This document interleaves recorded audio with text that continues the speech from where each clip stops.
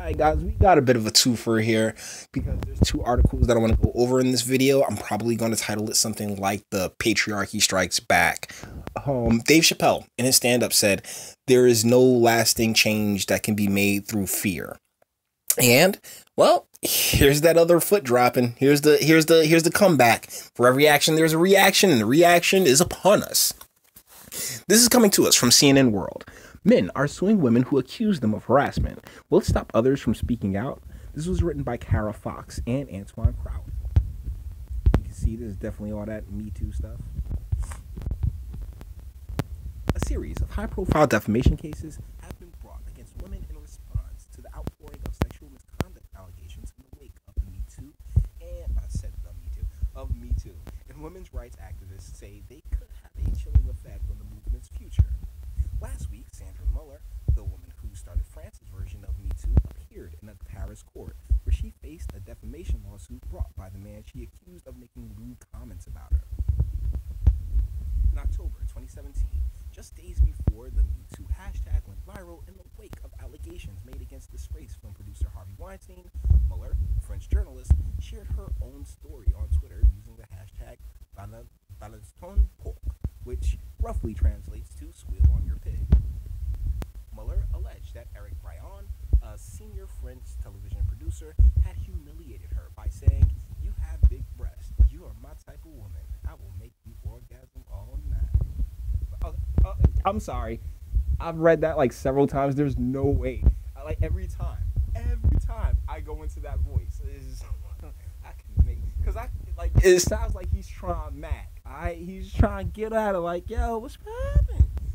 That's what he was trying to do. I mean, if she felt embarrassed, if she felt humiliated, darling, sorry, but this this just feels like he was trying. She's trying mad. And let's get into more of the story. You you'll see where I'm coming from. Her story soon inspired thousands of others to share their experiences of sexual harassment and assault, catapulting France's national discourse on sexualized violence into the global spotlight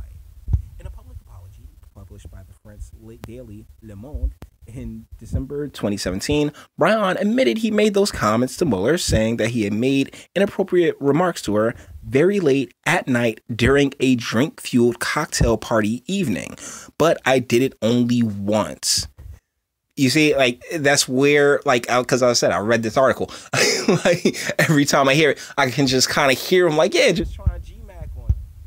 In court last Wednesday, Brion again admitted that he said those words to Muller, adding that he had sent her an apology text message, but didn't get an answer the following day. He added that Muller's violence against me has never stopped, the violence of people hiding behind their phones. So, yeah, so apparently, she, yeah, she never responded to him, she never replied, but she just went and took it straight to the internet. While he has said that he regretted his words, Brion noted in Le Monde that he would have rather been tried in a court of justice than the court of social media. And that's exactly what he's done. A gray zone. In January 2018, Brion announced he would sue Muller for defamation, asking for 50,000 pounds in damages and 10,000 pounds worth of legal fees. While Brion admitted he had made inappropriate comments to Muller, his lawyer Marie Maribi told CNN the reason they filed a defamation suit was because Muller had accused him of sexual harassment at work on Twitter. This is defamatory because we can't blame a man for making himself guilty of an offense when that's absolutely not the case, Maribi said. Muller, who had recently been honored as a silence breaker and person of the year by Time magazine, said at the time that she was surprised by Brion's change of strategy. Writing on her Facebook page, Muller said, The Balance ton porc movement has inspired victims to speak out and has shed a, has shed light on a real social problem that is such a taboo. Okay, yeah, let me uh, stop you right there, darling. See, in order to, you got to establish the fact that you're a victim. You know, I mean, until then, you're just you're an accuser. You're not a victim yet. I, believe victim status needs to be affirmed. That's what the court of laws are for. With this summons, however, they want to force me to shut up. I, I, I really don't think so. Vowing to fight this until the end, Muller said she hoped that the trial will be an opportunity to hold a real debate on the ways to combat sexual harassment, but you weren't sexually harassed. That's the thing. You weren't. Like, he just hit on you once. That's it. That's not harassment. He shot his shot. Like, do you not know the difference between harassment and shooting your shot? Jeez. But Celine Piques, Piques, I'm just gonna call it Piques. Spokesperson for the French Feminist Association, yeah, dare feminism, told CNN that the trial is absurd and one that amplifies a culture in which the courts are trying to make us believe there's a gray zone between harassment and seduction. But the deal is, is that there is no gray zone. You're 100% correct. Him sitting there saying, "Hey, you know, I mean, but is that very inappropriate to say to a coworker? Yes, but I mean, if you feel like you gotta, oh, like."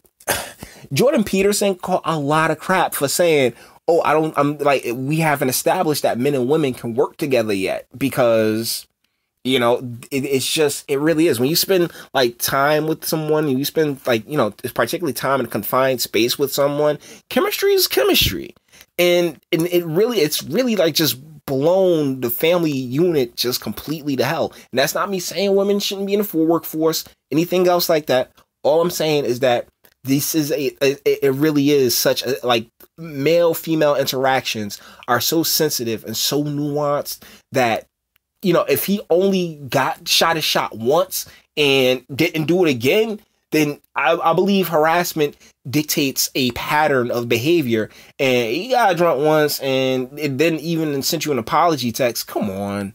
Come on. If you if you ain't want him to get at you you ain't want him to get at you. You turn him down and, and you apparently turned him down so this should be all good Women already face immense challenges in speaking out against sexual harassment and gender based violence. Uh, gender is not real for several reasons, Pikes added, including the fear of losing their job or other forms of retaliation. The threat of defamation only compounds that fear. France's judicial system already already doesn't respond to the testimonies of women, Pike said, adding that even in the wake of Me Too, only a fraction of women who have been raped brought their case to the police. Well, why is that, huh? Because maybe it, not all those women were saying like you know like it's like the same thing with uh this, this Muller lady. You're not all sitting here saying things that are like you know prison worthy. You're just sitting there saying, "Oh, I felt her like," and uh, it's, it's it's more of an attention grab than anything else. And while Muller and you know these ladies have CNN reaching out to them for comments and wanting to know their stories and stuff like that, yeah, they go and keep the rules up for as long as they as long as they can.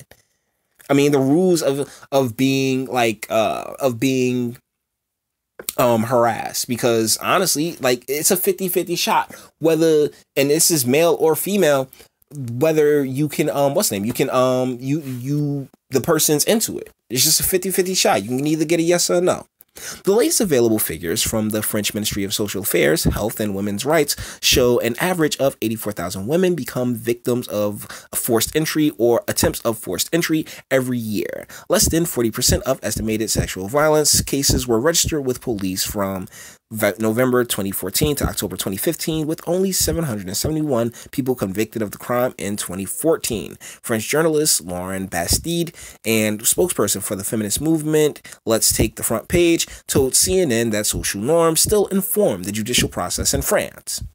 Women are asked how they were dressed before the accused gets asked any questions, she said. She said, explaining that critics of the feminist movement are dangerously conflating sexual assault and rape with the French tradition of flirting or seduction. Justice is sexist in the image of society, Piques added. She attributes backlash to the Me Too movement to men who are not ready to give up their privileges in society. But that's the thing, you can't take our privileges in society because we're men. Like, like I'm telling you, this gender nonsense is ridiculous. Like, we're different beings, okay? I mean, is and I hate to go to the religious route on this, but it's just a thing called God's order. God's order is God, man, woman, child. It's worked that way. No matter what you believe in, you believe in Moses, you believe in Buddha, you believe in uh, Ganesh, you believe in whatever, Allah. You know, Allah's order, Ganesh's order. Buddha's order. It all kind of just goes, yeah, man, God, God, deity, man, woman, child. You know, like, and you guys are just so off the rocker with this. Bastide also said that economic factors play a role in assault cases, of course, with women from working class or poorer backgrounds less likely to report their abuser because they can be sued. Unfortunately, there are spaces where you can express yourself, but it is extremely paradoxical. Twitter is a wonderful tool, but it also is the most violent tool that can turn against us. Okay, why do I keep using the word violent? They're words. It, it, it's Twitter. Twitter is not. Oh my goodness. Words aren't violence. Jesus. Precision strike. Brian, however, seems to believe he is a casualty of the Me Too movement, saying in court last Wednesday that he is the victim of the precision strike by Muller it's kind of hard to argue. In suing her for defamation, Brian joins a list of wealthy men in powerful positions who have taken legal action against their accusers. Right on, brothers.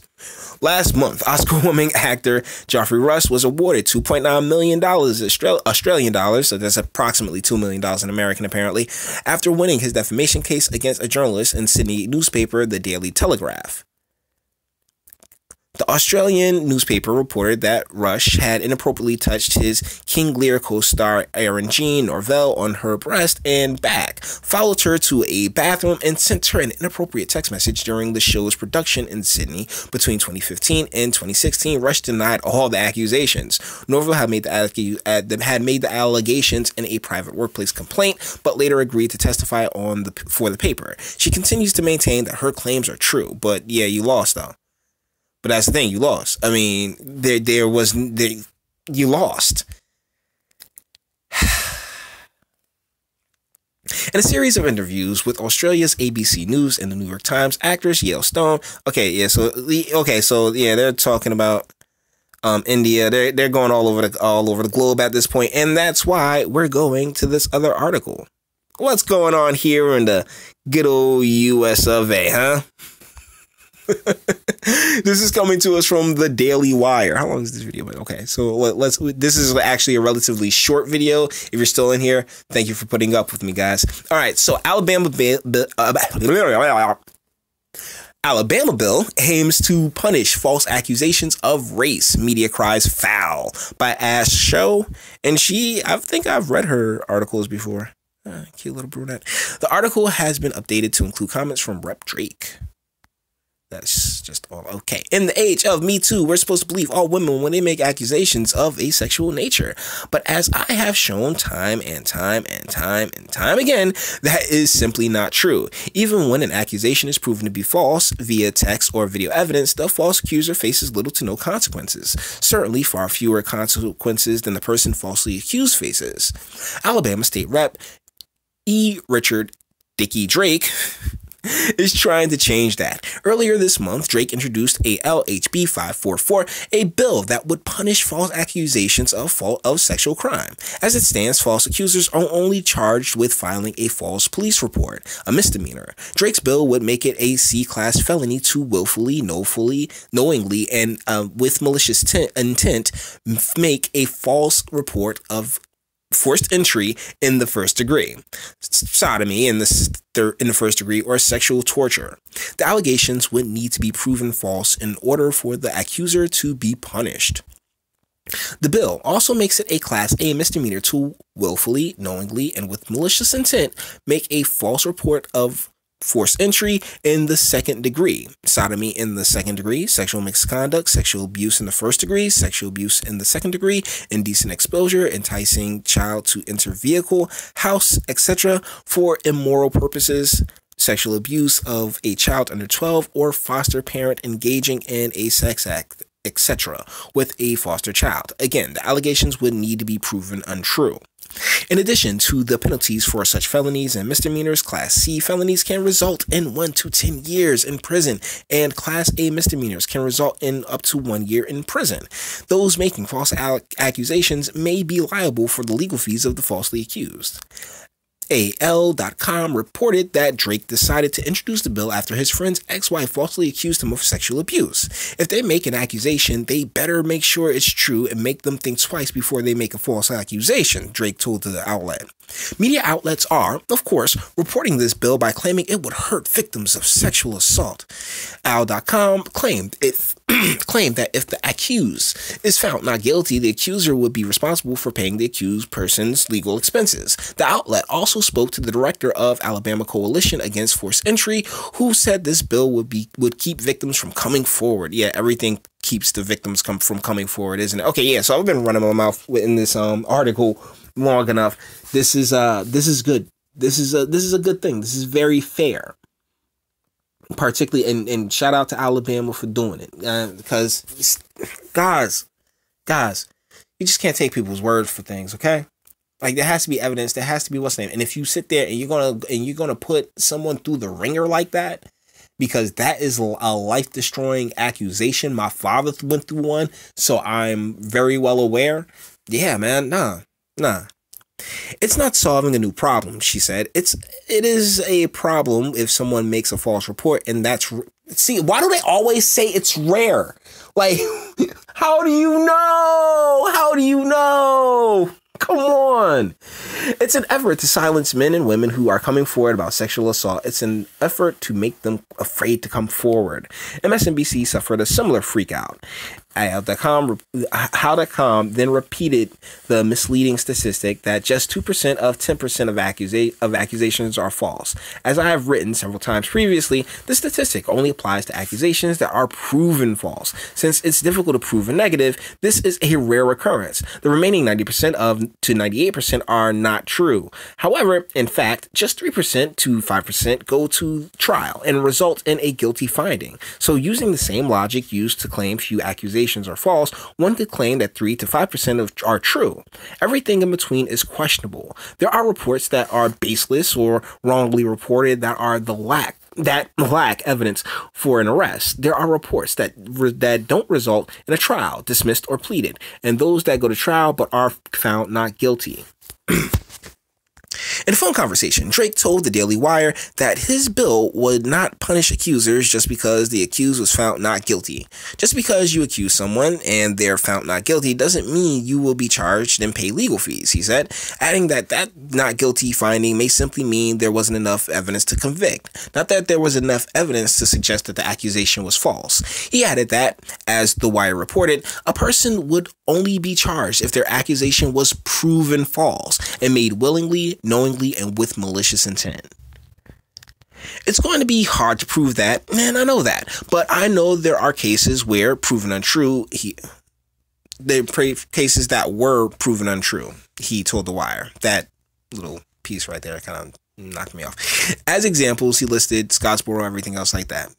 Yeah, uh, it's yeah. So we're at the end of the article anyway. As examples, he listed the Scottsboro Boys. He's from Alabama, after all. The Duke lacrosse rape hoax, forced entry, and Brian Banks. Despite the media's false reporting, Drake's bill is not about keeping victims from coming forward. I want victims to come forward with sexual allegations. He said, "I'm just trying to stop the false accusations that ruin lives." And that is the end of the article. And you know what? Hats off Hats off. USA. USA. because, jeez. All right. So, I think, how long is this video? Oh, man. we going off to almost 20 minutes. So, here's the deal, guys. False accusations happen. We can't tell. You know, it's very hard to prove a negative, you know? And so, thusly, having that, just having the charge there will act as a deterrent. You know, I mean, who know like the application of the law and the law itself are two different things. I hope you guys realize that. The application of the law and you know, like how it's carried out, how it's um intended, how it's moved, it's just it's like it's like anything else that's given. Take that 100 million dollars that um Zuckerberg gave Newark, right? Like it was doled out to lawyers and consultants and stuff like that. So guess what? Who didn't get the money? The people that needed it, and that's that's basically with any nonprofit, any grant, any program when it comes to urban America. And really, this is no different. Let me let me get this someplace. There you go. But really, this is no different. You got accusations that you know should that that end up destroying people's lives, harming people, and to not have any consequences for putting someone's life through that, yeah, that has to stop. Look, we are all this country, man, as men in Western society, we are raised to love our women. We're raised to place them on this pedestal. And honestly, most of them don't deserve it. Let's be real. like, particularly if you're a complete stranger that I don't know. Like, I, I'm willing to do things off of just GP, but at the same time, you know, like, come on, come on, take it easy there, champ. It's not just because, oh yeah, yeah, check. you feel like yeah, you can do whatever. Nah, take it easy.